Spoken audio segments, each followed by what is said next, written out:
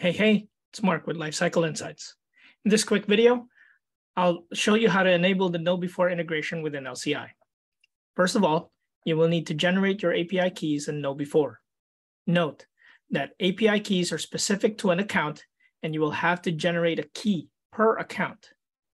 To generate an API key and KnowBe4, log into KnowBe4 and navigate to the account settings by selecting your account from the top right of the page.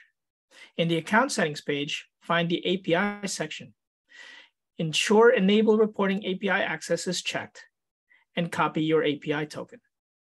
Quick note, per KnowBe4's documentation, to, to enable the API, you must have a Platinum or Diamond subscription. You also need to know your instance URL. It will either be US or EU based. Once you have generated your API keys, let's get them entered into LCI. In LCI, go to Administrations and Integrations. Click the KnowBe4 tile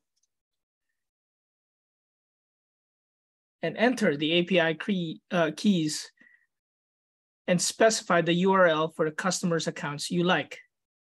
Data will be auto-saved as long as you select the URL and enter an API key. After your API keys are entered, data will sync after your next nightly sync. Congratulations.